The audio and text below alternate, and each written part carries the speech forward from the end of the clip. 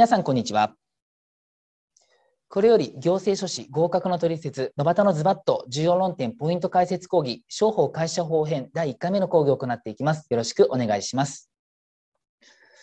はい、ということになりまして、えー、憲法、民法、行政法が終わり、残すところこの動画に関しても、商法、会社法と一般知識、残すのみとなりましたと。まあ、今回は商法会社法なんですが、この科目どう向き合っていくのか、こう非常に難しい科目なんですね。でまず今回はこの科目としての商法会社法、向き合い方についてお話ししていきたいと思います。まあ、つまり、全2回しか動画はないんですけども、今日1回目のところなので、スタートアップ商法会社法ということで見ていきます。はい。で、まずはですね、え商法会社法の、ま全体の、ま位置づけ的なものを確認していきたいと思います。はい。で、商法会社法に関しては、択一式のみですね。あ憲法と行政法にあるような、えー、多子選択式はないですし、そして行政法と民法にあるような記述式もありませんと、ただ単純に5子択一のマークシート5問ですね。はい。配点も20点で、割合としては全体の6.7%しかありません。非常にウェイトが低いんですよね。はい。ってことがまず一つあります。で、この5問しか出ない商法会社法なんですが、まあ、これが優しければね、こう皆さん頑張ってってことは言いますけども、これが優しくないんですよね。ちょっとこちらも画面切り替えていきますが、はい。これ私がガイダンス等で使っている資料の一部なんですけどね。2021年のこう商法会社法部分のこう正答率を出したものです。まあ、問い36番から40番までが商法会社法という科目ですね。はい。で、レックにこう成績を出してくださった方々の正答率なので、まあ、だいぶレベル高めの方々がこう成績出してくれるわけですね。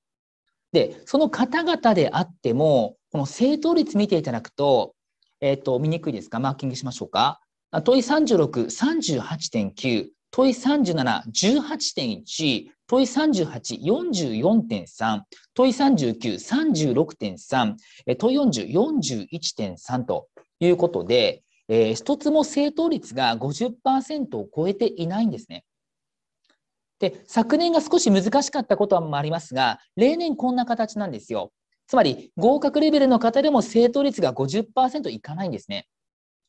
逆にこう行政法だったりすると、正答率が50%いかない問題の方が少なくて、19問中のまあ1問か2問しかないんですね。そこと比べると難易度がやっぱりこう歴然としてるわけです。はい。なので、こう、ちゃんと勉強したから取れるというわけでもなかったりしますので、ま、この科目、まず勉強するかしないか、そこも踏まえて考えていかなければいけないということになります。はい。で、ちょっとこちらの画面また切り替えていきますが、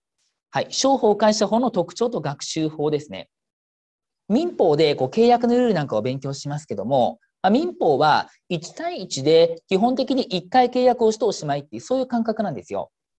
で、そのビジネスとして、例えば安く買って高く売るとか、継続的にやるとか、いうことを考えていくと、民法とは違ったあ契約のルール、商法が使われますと。そして、こう、儲けを出していくためには、もちろん個人でやっていくでもいいんですけども、会社を作った方がよりたくさんお金が集まりますし、信用も高まりますし、より多くの取引できますよね。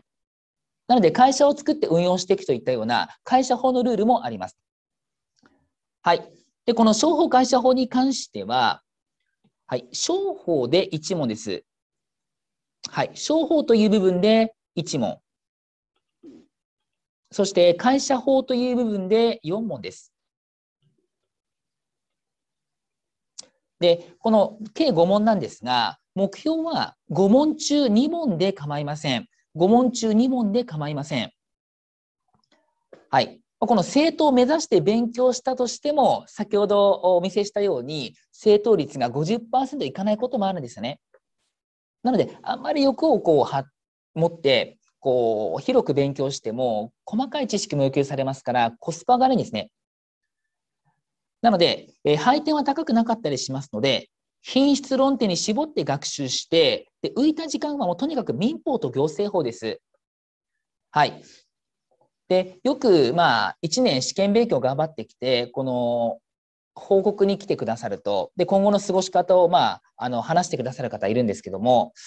まあ、中には合格点まで届かないかなという相談もあるんですね。で、その時に、まあ、一定程度の方がこう言います。私は商法と会社法をあまり勉強しなかったから合格できなかったんですと。だから来年は商法、会社法がっちり頑張っていきますっていうことをおっしゃる方いますけども、あの正直、商法、会社法ができなかったから合格できなかったって人は、あの、めったにいません。大体、その行政法とか民法の方で、まだまだ伸びしろがあるという状態で本試験に行ってしまって、で、合格点届かない方が多いので、本当に商法、会社法ができなかったから合格できなかったって人は、まあ、ほぼいないんですよね。なので、えー、そういうことも皆さん気をつけてください。あまりこう時間かけるところではないので、まあ、最低限の勉強をしたら、あとはとにかく民法行政法ですということを考えていただきたいと思います。では、この品質論に論点に絞って学習してありますが、この品質論点って何ですかというところなんですが、まあ、少し大雑把に説明すると、まあ、先ほど言った商法部分と会社法部分がありますと、で、商法部分は範囲があまり広くないので、まあ、この商法部分のまあ一問、ここは頑張って取りに行きましょうと。そして、会社法部分に関しては、ここが範囲が広くて難しかったりするので、はい、会社法部分に関しては、まず、株式会社を作るという設立。これ、え次回の動画で説明しますけども、会社の設立ですね。これが、ほぼ毎年のように試験出てきますと、過去10年で8回9回出てますから、ほぼ毎年出てくることが分かってますと、であれば対策しておいて損はないですよね。これは設立で1問というところ。はい。あとは、こう、会社ができた後の話になりますけども、まあ、1年に1回株主が集まって話し合うという株主総会がありますと、はい、いうところ。まあ、あとは、役員が集まって話し合う取締役会とかいうものがありますと。まあ、そういったもので一問が出る可能性が高いというところなので、まあ、とりあえずまず、えー、勉強しようかという話になると、商法全体で一問と、で会社法で設立ね、まあ、そこを一問やると。まあ、それが鉄板です。まず商法の一問と会社法一問ですね、設立。で株主総会とか取締役会に関しては、まあ、少し細かい知識もあるので、まあ、商法と設立やって、で時間が余ってると、他の科目がしっかりできてるって方はそこをやっていただければいいですと。はい。あと、ランク付けを取説ではしてますので、まあ、A を中心にやっていき、まあ、その次に時間があれば B を触れるという形で構いません。もう C までやる暇はないですからね。ということにあのなっていきますと。で、こういろいろお伝えして申し訳ないんですけども、あの、まあ、会社法は設立でいいんですが、商法ってまあ全体的で一問って話です。で、その一問も結構範囲が広いんじゃないかって思われるかもしれませんが、もしそう思う方は、この一問、大体夏以降に、私もそうなんですけども、いろいろ過去問とかを分析して、今年はこれが危ないんじゃないかって話をします。あつまり、えー、出題予想ね。はい。で、こちらも真剣にやってますから、結構この出題予想は当たるんですよ。なので、商法1問に対してどこまで勉強するかわからない方は、大体予備校が夏頃に出す出題予想でね、上がってる分野をしっかりやっていただけると、そこで人と差がつくことはないですから。はい。ということになっていきますね。